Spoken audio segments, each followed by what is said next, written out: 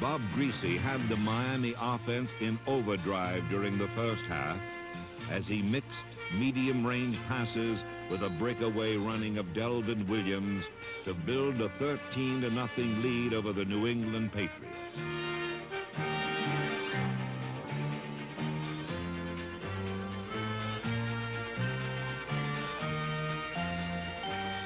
The Patriots turned the game upside down in the second half with 28 consecutive points.